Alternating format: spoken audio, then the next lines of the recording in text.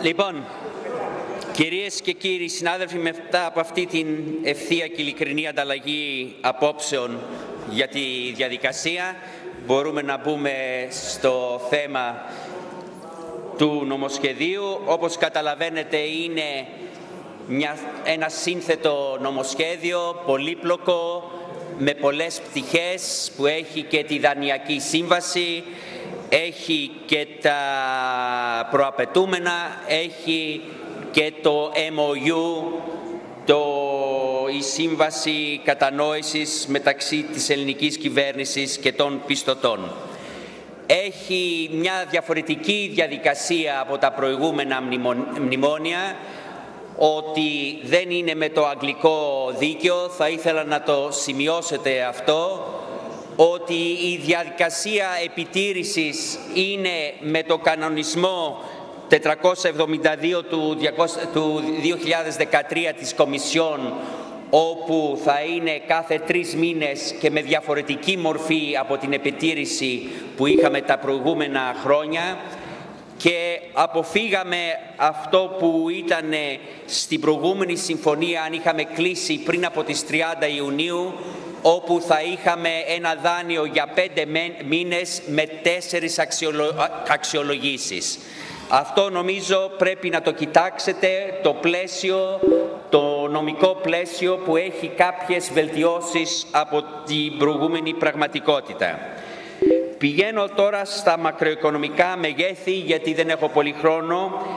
Νομίζω θα καταλάβατε ότι αυτό που έχει δεσμευτεί η κυβέρνηση που δεν έχει αλλάξει από τις προηγούμενες συζητήσεις είναι να φτάσουμε σε ένα πρωτογενές πλεόνασμα 3,5%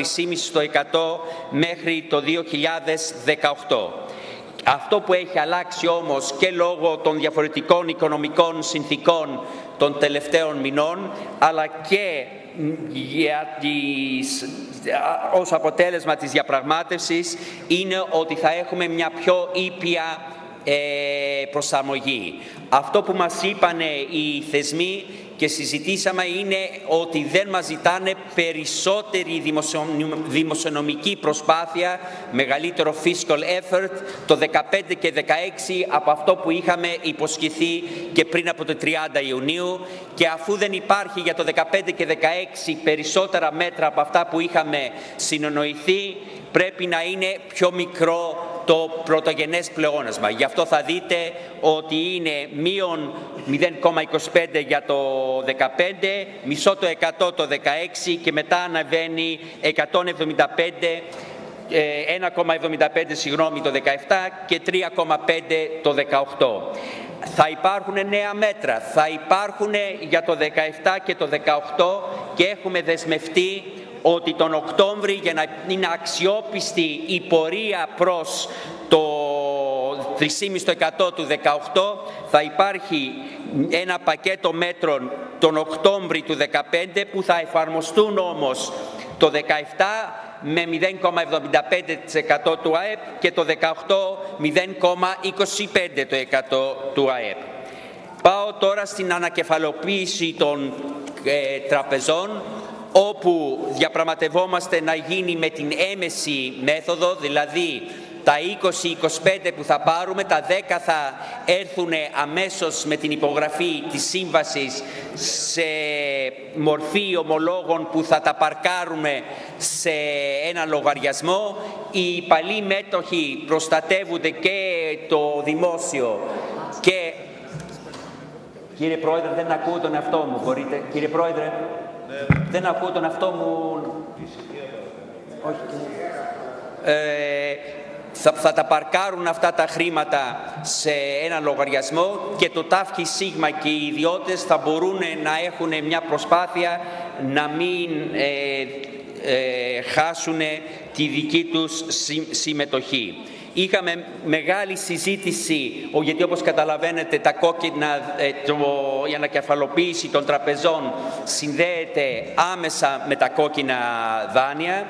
και υπήρχε μια πολύ μεγάλη διαφωνία με τους θεσμούς. Αυτό θα ξανασυζητηθεί τον Οκτώβριο όπου θα προσπαθήσουμε να βρούμε έναν συμβασμό μεταξύ ανάμεσα στην λύση που προτάσει οι τράπεζες οι ίδιες να έχουν ένα σύστημα να ασχοληθούν με τα κόκκινα δάνεια, το σύστημα του Asset Management Company, δηλαδή μια κακή τράπεζα, να το λύσει το πρόβλημα και η συμμετοχή των ιδιωτών. Νομίζω ότι υπάρχουν πολύ δύσκολα μέτρα μέσα σε αυτό το πακέτο. Σε μερικά από αυτά έχουμε προσπαθήσει να παίξουμε με το χρόνο και θα δείτε ότι δεν μπαίνουν όλα μαζί. Για παράδειγμα, στον αγροτικό τομέα η μείωση, η αύξηση που θα πληρώνουν για το δίζελ, για την ενέργεια, για το πετρέλαιο οι αγρότες γίνεται σε, σε δύο δόσεις, πρώτα τον, τον Οκτώβρη τώρα και μετά του χρόνου. Υπάρχει και σε άλλα φορολογικά που πάει σπαστά πότε αυξάνεται η, η, η φορολογία. Αντιθέτως, στα εργασιακά έκαναμε την προσπάθεια όχι να πάει πιο πίσω, αλλά να έρθει πιο νωρίς, οι θεσμοί είχαν βάλει ως πρόταση να μην μπορούμε να νομοθετήσουμε για τα εργασιακά μέχρι το Μάρτιο του 2016 και εμείς προσπαθήσαμε και πετύχαμε να μην υπάρχει καμιά αναφορά σε συγκεκριμένη ημερομηνία, αλλά να μπορούμε να συζητήσουμε, να διαβολευτούμε ένα καινούριο νομοσχέδιο για τα εργασιακά που μπορεί να, να έρθει το φθινόπωρο. Σε αυτά τα δύσκολα μέτρα ε, δεν είναι μόνο για τους ε, αγρότες αλλά και για τους φαρμακοποιούς και για τους, ε, ε, τους φούρνους και για τις, τα διάφορα κλειστά επαγγέλματα. Καταλαβαίνετε ότι δημιουργούνται πολλά κοινωνικά προβλήματα και πόσο σημαντικά από θα είναι αυτά θα εξαρτηθεί από πώς θα απαντήσει η ελληνική οικονομία, η ελληνική κοινωνία και η, ελληνική πολιτική τάξη. Ε, εμείς έχουμε τη δέσμηση μέχρι το Μάρτι του 2016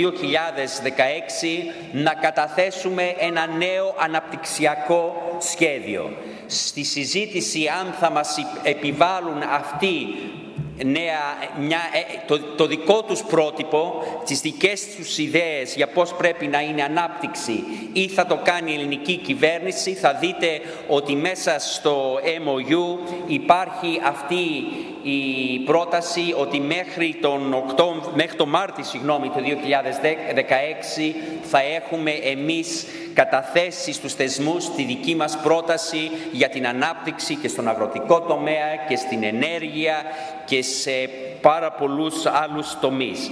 Άρα πόσο δύσκολο είναι αυτά τα μέτρα, πόσο δημιουργεί προβλήματα σε σημαντικούς παραγωγικούς τομείς εξαρτάται από την εν μέρη και από την αντίδρασή μας. Εξαρτάται αν θα μπορέσουμε να δημιουργήσουμε αυτές τις ιδέες, αυτές τις προτάσεις, αυτές τις παρεμβάσεις που θα δημιουργήσουν ένα διαφορετικό πλαίσιο, που θα εκμεταλλευτούν την κατάσταση της επενδύσεις που είναι από το σχέδιο Juncker, τα 35 δις με το, μέχρι το 2020, αλλά θα, θα εξαρτηθεί και όλο και, και επιπλέον από την αντίδραση της ίδιας της κοινωνίας, των διαφορετικών παραγωγικών φορέων και των διαφορετικών παραγωγικών ομάδων.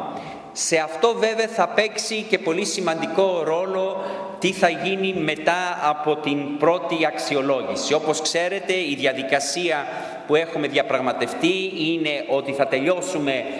στις 20 Αυγούστου με, τις, με τα προαπαιτούμενα, με την πρώτη ε, ε, πληρωμή όπου Παρένθεση εδώ, κάνουμε μια μεγάλη διαπραγμάτευση να υπάρχουν και χρήματα στην πρώτη πληρωμή και για τα ληξιπρόθεσμα, δηλαδή αυτά που χρωστάει η ελληνική, το ελληνικό κράτος στην τοπική αυτοδιοίκηση, στα νοσοκομεία και σε ε, πολλούς άλλους φορείς από επιστροφές σε ε, φόρους, γιατί αν δεν το πετύχουμε αυτό αύριο στο Eurogroup και γι' αυτό έχει σημασία η αυριανή Eurogroup, θα έχουμε μια κατάσταση που η πρώτη πληρωμή από το ESM θα είναι λεφτά που θα φύγουν αμέσως από την Ελλάδα είτε για να πληρώσουν την παλιά, ε, το παλιό δάνειο γέφυρας ή για το, για το εκουτού ή όπως σας είπα για την ανακεφαλοποίηση των τραπεζών θα παρκαριστούν σε ένα λογαριασμό και δεν θα μπει τίποτα στην ελληνική οικονομία. Άρα γίνεται μεγάλη προσπάθεια μέσα στο πρώτο πακέτο να υπάρχουν και χρήματα ε, για, τη, για τα ληξιπρόθεσμα. Ένα-δύο λεπτά το πολύ κύριε Πρόεδρε. Το πόσο αυτό το πακέτο τέλος επιτρέπει τις επενδύσεις εξαρτάται και για πόσο υφεσιακό είναι το, ε, θα είναι όλο το πακέτο. Είναι πάρα πολύ δύσκολο να το προβλέψει κανείς αυτό, γιατί από τη, από τη μια μεριά υπάρχουν τα υφεσιακά μέτρα, δεν υπάρχει καμία αμφιβολία ότι είναι, ε, υπάρχουν υφησιακά μέτρα, από την άλλη μεριά θα εξαρτηθεί από το επενδυτικό πρόγραμμα, θα εξαρτηθεί τι θα γίνει από την πρώτη αξιολόγηση για να μπορεί να αρχίσει η συζήτηση για το χρέος, θα εξαρτηθεί πώς οι, τα άτομα, οι οικονομικοί δρόντες θα αντιδράσουν αν έχουμε μια καλή λύση για το χρέος και θα αρχίσουν είτε να καταναλώνουν είτε να ε, επενδύουν. Είχα πει σε προηγούμενες ομιλίες μου ότι ε, πώς θα αξιολογήσει ο καθένας και η καθεμία από μας αυτή την ε, συμφωνία θα εξαρτηθεί από το σύνολο του πακέτου. Τώρα αυτή τη στιγμή έχετε το σύνολο, μπορείτε να δείτε τα θετικά, μπορείτε να δείτε τα αρνητικά και ο καθένας και η καθεμία μπορεί να έχει την κρίση του μετά από μια γόνιμη συζήτηση για πώς προχωράμε. Σας ευχαριστώ πολύ.